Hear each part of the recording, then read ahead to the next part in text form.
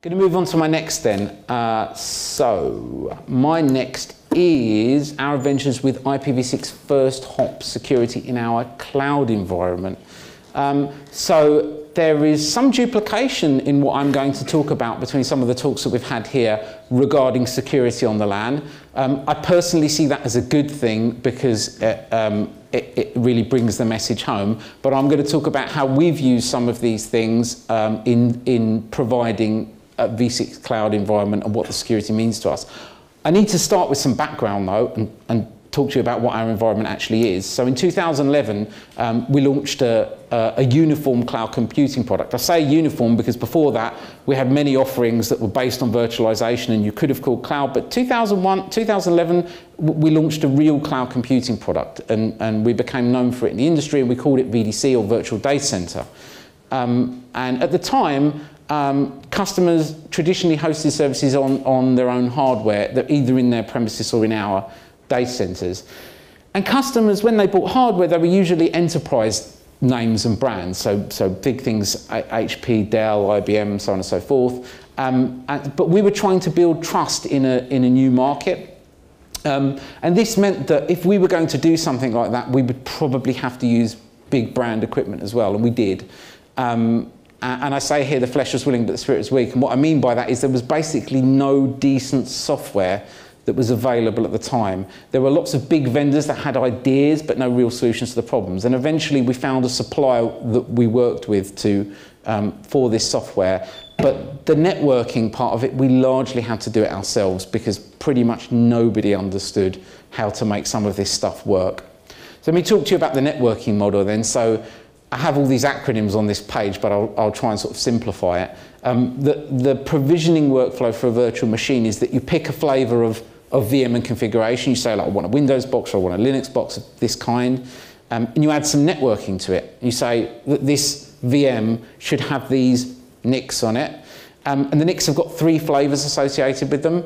Um, pub, we call them public, they're called publicly public, external, and private. But um, internally, we call the first two of those SIA and, and DIA. And what does that actually mean? So if you think of public or, or SIA as a, as a shared network that people can join, um, it's actually a shared network that they can get an address on very easily, but in return for it being a shared network, we have to put lots and lots of security on it um, to make it not like a shared network if you know what I mean. So rather than, rather than we're trading sort of security complex, routing complexity and switching complexity for security complexity.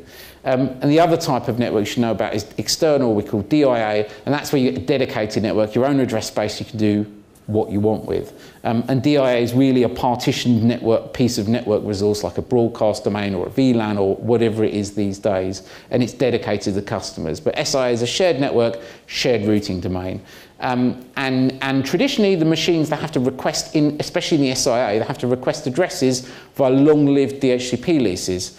Um, that's mandatory in the SIA. You, you can do it in, in dedicated networks in the, in the DIA, but you don't have to. Um, and we have a custom DHCP server that we wrote that serves state from the cloud provisioning database, so we don't have leases. Everything is stateless from the perspective of the DHCP server, but it's stateful from the perspective of the platform. So what is SIA? Well, it lets you get an address quickly. You have a big pool of addresses. This where you are, you pick the location for your machine. You say, I want an address quickly. It says, pick an address from a long list of addresses. You pick it from a pool, and your VM can have a public address that's directly attached if you want, and there's no NAT, well, unless your VM is a NAT box, you have this NIC and it's directly attached to your VM. But the SIA is a shared domain, it's a shared routing domain, uh, and a shared broadcast domain. We don't segment customers from each other any more than we would filter them from each other if they were in dedicated routing domains. So for example, I wouldn't filter one customer from another regardless of, uh, uh, layer three at least, regardless of where they are on the network because customers legitimately need to communicate with each other because this thing in the middle on public addressing is supposedly the internet which is, you know, should have end to end. So we don't do that. Um, but we do have a first hop security security model um, and the flows that don't meet the criteria for that model are dropped. So let's look at, I am not going to go into a lot of detail about this because obviously some of it is, is, is sort of confidential and proprietary, but largely in the V4 model, we'll do things like filter ether types, filter source MACs, filter destination MACs, um, make sure that only DHCPv4 servers are, are, our authorized, in the SIA this is, are our authorized ones that provide the platform state. We'll only permit ARP replies that come from your DHCP assigned address and we'll only permit source addresses that you've been assigned by the DHCP server. Um, and how's that really implemented? Well, remember what I said about, about building this all on enterprise grade hardware. You know, we paid a vendor and they have a bunch of features and and some of these features we have to do ourselves and some of these features you know they, they kind of provide for us but they don't tend to work from day one but maybe on day 604 they're, they're sort of a bit more mature and they do work. Um, so there are vendor features that correspond to all of these things that um, in v4 terms the vendor feature is i'm sure you can guess by now if you google for these terms that cisco things dhcp snooping authorized arp and ip source guard that's the v4 security model. So look at the v6 implementation, which is kind of the same concept. There's a shared broadcast domain.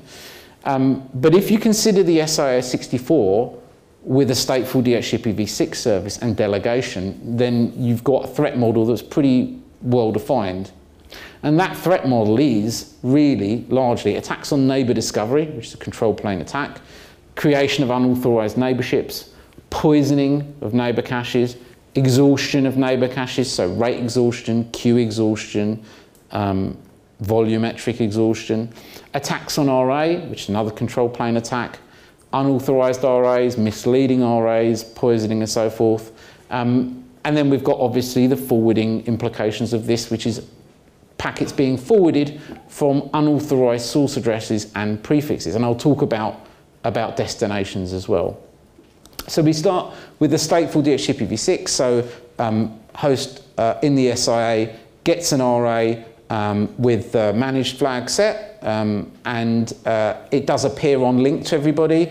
Um, it's not really on link, um, but it, it, appears to be on link to the host. Actually, we do some proprietary thing where we pick the frames out and forward them to something and send them back without invoking a stateful DHCP proxy and not having to overcome any of the challenges talked about in RFC 6939 about relaying attributes and such. But yes, it appears that it's on link. Um, set the M flag, point it at the, uh, from the RA, we set the M flag, point it at the DHCP server. Um, the lease reflects the provisioned address they've selected in the SIA.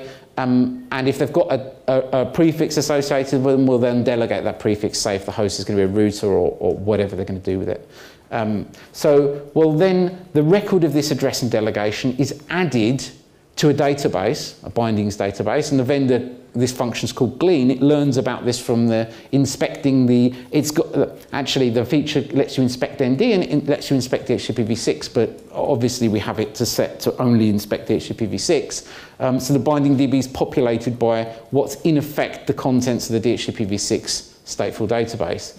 Um, and uh, we obviously prevent any rogue DHCPv6 service, so we use the DHCPv6 guard. Um, and just like its v4 counterpart, it blocks unauthorized DHCPv6 supplies. And we know this is susceptible to the evasion scenarios talked about earlier. So we need additional mitigation for that. And without going into too much detail, that's a combination of filtering um, particular header sizes and destination multicast MACs and all of the things that don't allow you to properly use extension headers in the environment, but just enough for the customers to function. And that seems to work. Um, so in the neighbour discovery uh, and, and RA phase, the bindings are used to validate any uh, further ND, and the vendor calls that ND inspection, um, and, and, that's effectively SAVI. Um, invalid ND packets are dropped before we do anything else. So any, any ND packets that are malformed or, or, or, or you know, don't meet strict criteria are just thrown away. Um, and then assertions are validated against the bindings database and we'll validate the neighbor address, the bound MAC source MAC, and that will mitigate against spoofing and poisoning. Now, this, this takes you, in, this can create some awkward situations where um, a host comes up and then, but can't be validated and can't speak until it can be validated. And there's a, there's a bootstrapping problem in here. Um, and, and the solution to that is actually really complicated and it involves pre-warming some of the ND inspection cache, but it's generally like that. Um, and the router advertisements are also validated, um, and that's RA guard. Um, we'll block RAs from unauthorized sources. We'll do the same thing for avoiding evasion where the, you have these, this multitude of, of different header lengths and extension headers. We'll also limit the rate limit the ND. so that, that have two features, ND cache interface limit and ND resolution rate limit, um, one of which is the cache size um, uh, and, and, the queue size, and the other is, is the rate at which NDs will be performed. And we'll validate the source and the destination. So uh, we'll validate the source of the packets in forwarding against the bindings DB, um, and that's IPv6 source guard and IPv6 prefix guard. Um, link locals allowed, but the global auto-configured addresses are not. Um, and, and URPF is also put upstream as it always is to make sure that nothing else gets out that shouldn't. Um, and we'll validate the global destinations against the bindings DB as well, and that's IPv6 destination guard. So that mitigates against uh, uh, you know, spraying all of these destinations and then forcing them to be gleaned and bringing us back into this process of trying to work out where they are. Um, so generally this approach, well, lots and lots of problems with this approach, but basically the features didn't work and hadn't worked for a very, very long time um, and practically didn't have a working platform for three, four years, I must say, on, on a number of counts. Memory leaks, lots and lots of memory leaks. Anything involving memory, which is practically everything, you can imagine that you're not going to get any of it back. Um, overzealous defaults, um, so rate limits that are programmed into, into the software that change between versions of the software depending on how people feel that something should be implemented. That's been a bit of a problem, especially with the ND rate limits. Um, another problem that we've had is, is the ND bindings database. So the vendor has no implementation of um, being able to synchronize binding between different switches. So if you can imagine that you've got a, a switch fabric that, that might, you know, you might use some kind of uh, underlay to move packets or put something on top of that, an overlay network to carry traffic, um, and there's the potential for traffic to move around different things in the switching domain. The binding database is only populated from the contents of the glean and anything else we put in it. So we had to come up with a solution for extracting the, re regularly extracting the contents of all of the distributed binding database and merging them together and shoveling them out to all of the other switches. And the vendor said, oh, why would you do that? Because it breaks if you don't do that.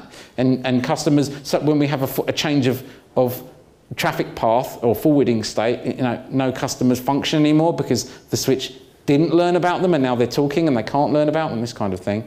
Um, and, and emergencies. So in a lot of cases, and we had this a lot with the V4, when things would break, it didn't work or there was corruption of state, you had to do something about it. Customers would call in, nothing's working. Why is nothing working?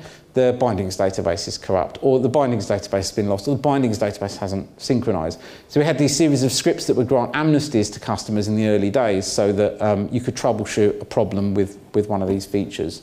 Um, so yeah, it's been relatively painful. Was it all worth it? So they're mostly vendor features, and, and a lot of which now are actually standardized, but most of them didn't appear in mature code until recently.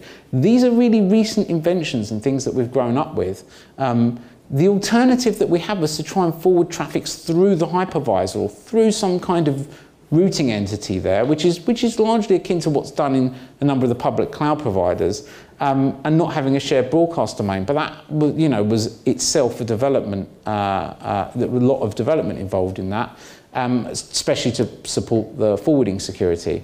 Another alternative we toyed with is just not offering SIA and, and, giving and saying to customers like, like you can do in AWS, here's a prefix, you go carve it up how you want, you've got your own uh, domain.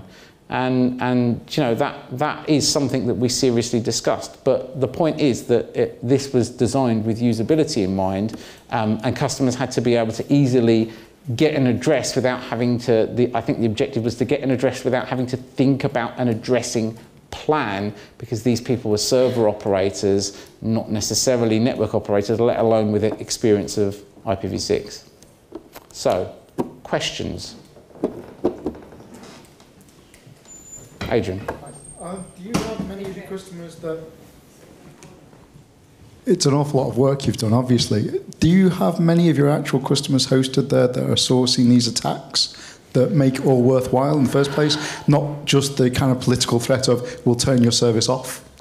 Sourcing attacks? You mean at, at, at first hop, or you mean uh, from my previous presentation about uh, the uh, Referring service? to the the presentation you've just finished? The, the just in the first Hop? No, not really. We sometimes have people that, that will start a machine up um, and it has a default implementation that does something funny on the network and it will get it'll either get its traffic filtered or it gets port shut down But that, that's more in V4 than it is in V6. I haven't really seen that so much in V6. One of the problems we, we early problems we had when trialing the V6 on the SIA service was that um, a lot of operating systems didn't come with the DHCP V6 client.